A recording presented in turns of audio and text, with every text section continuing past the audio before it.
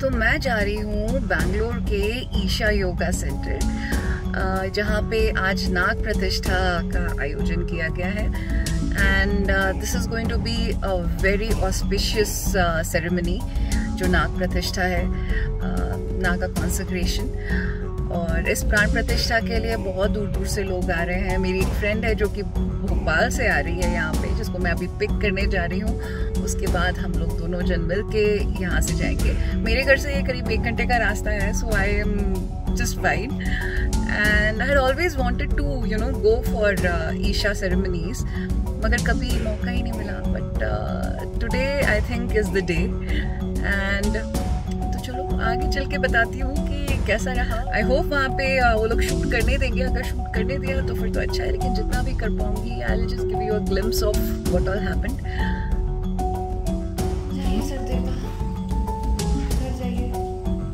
जाइए गोसाई बाबा।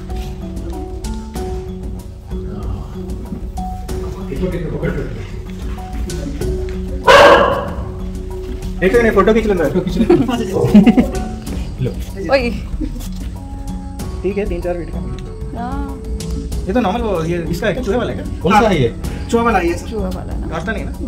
नाग है नाग है क्या? जी रहे हो हाँ जी हाँ जी। हाँ। नाग है? हाँ। हाँ है है ना? अरे फल निकाल रहा है। Thank you thank you thank you भैया। अच्छे से उसको छोड़ के आइएगा मारिएगा नहीं।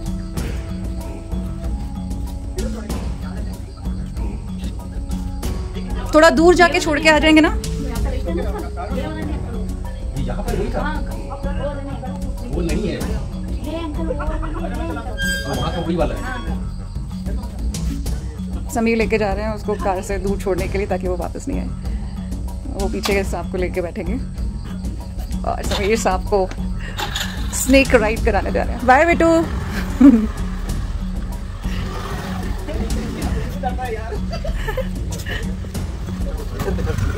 बाय स्नेक जा रहा है।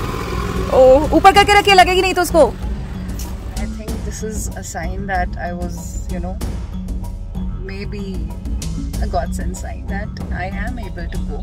They say a lot of stuff about it कि बहुत अच्छा है बहुत अच्छा रहता है चलो आगे दिखाती हूँ ईशा योगा पे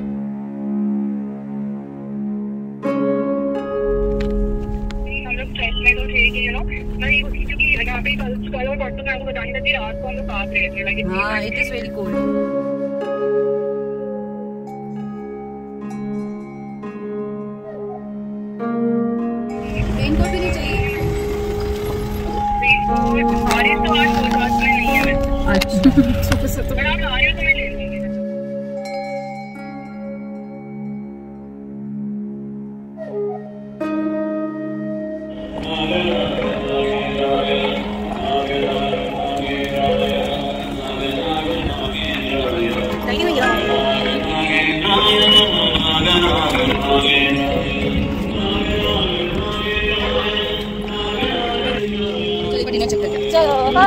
आदि योगी हमारे साथ है।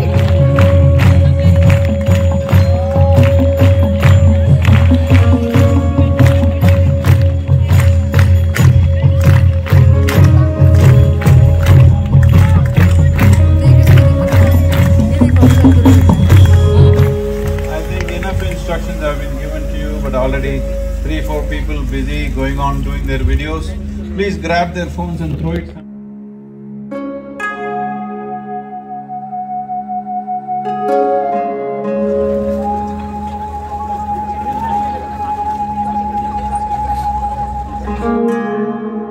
तो शिवाली के हैप्पी बर्थडे पे हम लोग खा रहे हैं मैगी और चाय पी रहे हैं रात के कितने बजे तीन बज के पंद्रह मिनट हुए हैं ये हमारी पजामा पार्टी चल रही है हेलो गाइस तो जैसा कि आप जानते हैं अभी अभी मैं नाग प्रतिष्ठा से होके वापस आई हूँ। और वहाँ का एक्सपीरियंस कैसा था मुझे आपको बताना था। इट वॉज़ वेरी ब्यूटिफुल बहुत अ, अच्छे से ऑर्गेनाइज किया हुआ था। जितने भी वॉल्टियर्स हैं उन्होंने बहुत ही अच्छा काम किया। जो बैंगलोर से चले थे तो चिकबल्लापुर में आने के बाद में वहाँ पे बहुत सारे टर्न्स और सब थे। तो टू डायरेक्ट अस प्रॉपरली हर एक टर्न पे एक वॉलंटियर खड़ा हुआ था। तो उसके कारण it was so smooth sailing हम लोगों को कहीं भी रुकना नहीं पड़ा या हम लोग रॉन्ग रूट नहीं गए, क्योंकि गूगल जो था वो उसको अच्छे से वो लोकेशन जो है ट्रेस नहीं कर पा रहा था, जहाँ पे इस वक्त नाग देवता का की प्राण प्रतिष्ठा हुई है। हम लोग वहाँ से पहुँचे हैं। इतनी भीड़ थी जो पूरा का पूरा जैम था, मैंने आपको फ़ोटोज़ शेयर की हैं। तो बहुत लंबा जैम था, क्योंकि जाने का जो रोड है वहाँ तक अभी भी अंडर कंस्ट्रक्शन है। It's it's completely a construction area जो कि हमें पहले ही बताया गया था कि this is the kind of roads you are going to travel on so be careful तो हर एक इन्फॉर्मेशन पूरी तरह से दी गई थी कि वेदर कंडीशंस uh, कैसे हो सकते हैं। तो आप लोग अम्ब्रेला कैरी करिए। Uh, रात में बारिश हो सकती है रात में टेम्परेचर्स बहुत ड्रॉप हो जाते हैं उस जगह में because it's an open area तो आप लोगों को एक शॉल या jacket whatever to keep yourself warm आपको लेके चलना है। मॉर्निंग में क्योंकि सेशन चालू हो जाए गर्मी रहेगी। इसीलिए अगर आपको सनस्क्रीन्स लेके चलने हैं हैट्स लेके चलना है तो वो सब लेके चलिए। अनइवन टरेन रहेगी तो शूज़ कैरी करिए। स्लिपरी रहेगा पाथ अगर बारिश हो जाती तो। Everything they had you know अच्छे से पहले ही बताया हुआ था ताकि we are well prepared for what is going to happen and just going to be you know open air तो वहाँ पे हमको बैठना था तो उसी के हिसाब से मैं तो एक योगा चेयर जो होती है जिसमें एक सपोर्ट होता है तो वो भी लेके गई थी। तो that made my thing much easier मगर लोग almost six to seven hours we were just sitting and chanting बहुत मुश्किल हो गया होगा बाकी लोगों के लिए। I was still better off जो मेरी फ्रेंड है like she was not carrying the yoga chair but मैं उसके लिए योगा मैट लेके यहाँ से गई थी। तो एटलीस्ट uh, जो बारिश का पानी है उस पर हम डायरेक्टली नहीं बैठे हुए थे। उन लोगों ने टापलिन वगैरह डाले हुए थे टू कवर द एरिया ताकि वो एक प्लास्टिक कवरिंग रहे लेकिन वो कितना बचा सकती है बारिश में ना? तो uh, ये सब ऑडियंस ऑफकोर्स थी पूरी रात भर ठंड में बैठे हुए थे छाता खोल के बैठे हुए थे।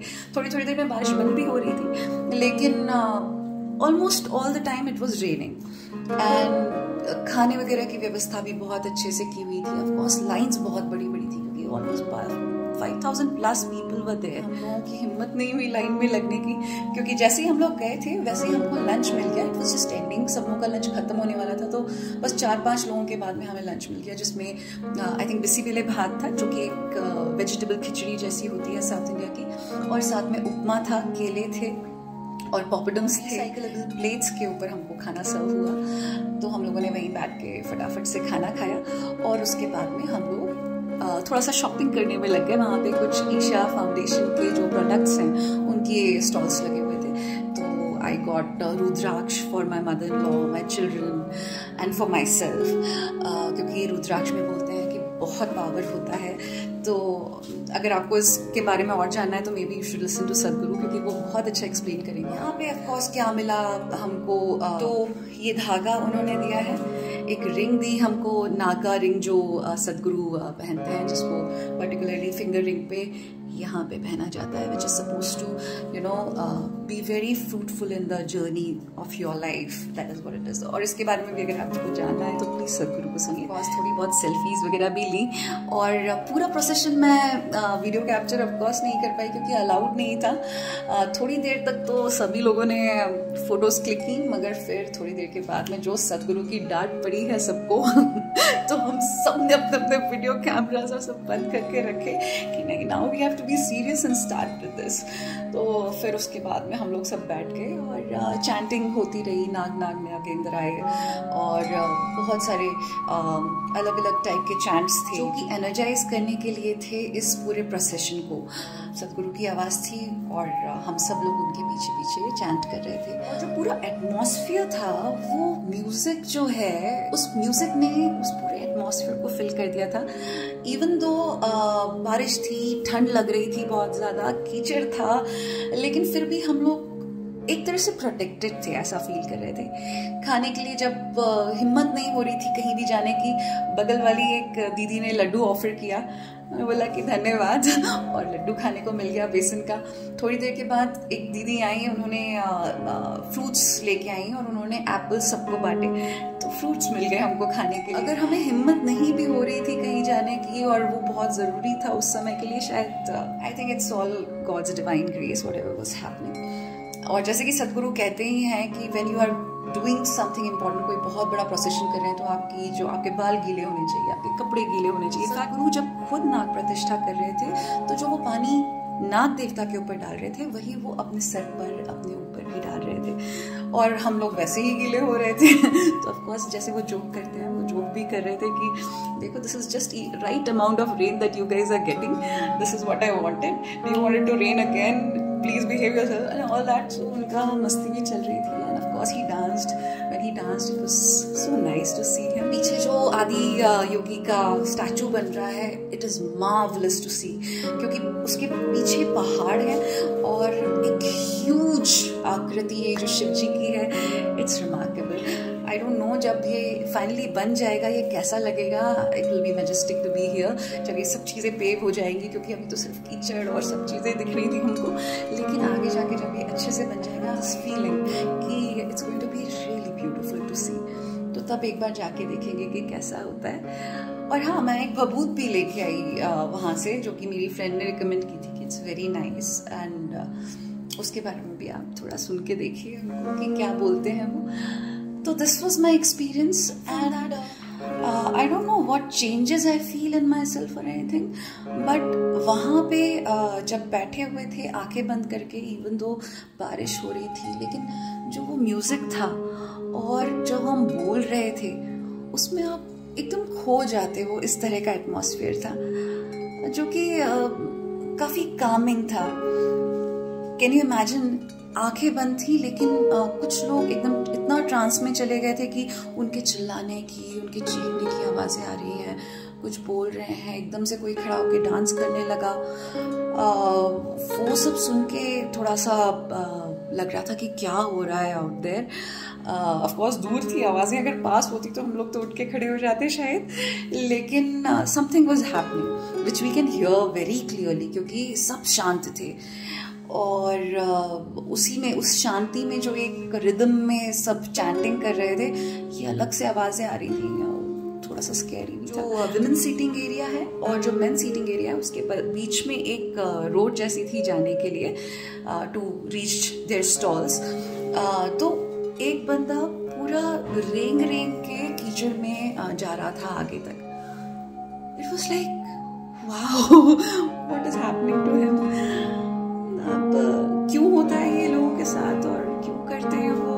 I have no idea there must be something इसके पीछे भी कोई साइंस होगी आई थिंक और अगर नहीं है साइंस तो maybe they are you know in that trance कि शायद वो इस तरह से बिहेव करने लगते हैं। I really have no idea but any which ways हम लोगों ने सब कुछ ख़त्म किया और निकले और मेरी फ्रेंड का बर्थडे था कल और स्टिल वो पूरे दिन जो है, हम लोग साथ में ऐसे थे। कोई बर्थडे सेलिब्रेशन हमारा यही हुआ है, जहाँ हम लोग बारिश में थे नाग देवता के सामने थे, इस पूरे प्रोसेशन पे थे।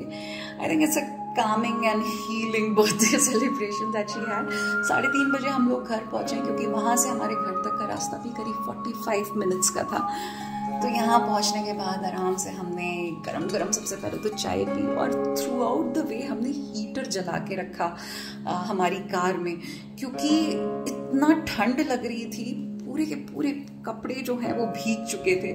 एनीवेज इसने बहुत हेल्प किया। घर पहुँचे चाय बनाई गरम गरम बड़ा सा कप अदरक वाला। पी के हम लोगों ने खूब सारी चिटचैट की। थोड़ी देर के बाद उसके जाने का टाइम हो गया और मुझे फिर से एयरपोर्ट जाना पड़ा तो हम लोग सो बिल्कुल भी नहीं पाए। और जब मैं वापस आई हूँ मेरे बच्चों के स्कूल का टाइम हो गया था तो फिर मैं उनको लेके दौड़ी स्कूल। और फिर वापस आने के बाद में मेरे फादर इन लॉ ने बेचारे उन्होंने बोला कि मैं चला जाता हूँ बच्चे लेने के लिए।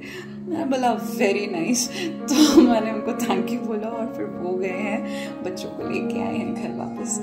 तब तक मैं ऐसा सोई हूँ जिसकी हद ही नहीं है। I I had no idea what is happening पंखा भी नहीं चलाना था क्योंकि अंदर ठंड जैसे भरी हुई थी। और रजाई बजाई दो तीन ओढ़ के, एक शॉल लपेट के, बहुत अच्छी नींद आई। दिस वॉज़ माई एक्सपीरियंस अच्छा लगा। और अगर आपको अच्छा लग रहा है किसी चीज़ में तो आई थिंक कहीं ना कहीं it's affecting you and it was a good experience a different experience for us और ऐसे डिफरेंट एक्सपीरियंसेस ज़िंदगी में लेना चाहिए, क्योंकि ज़िंदगी तो इतनी सी है ना। तो अच्छा है, करो।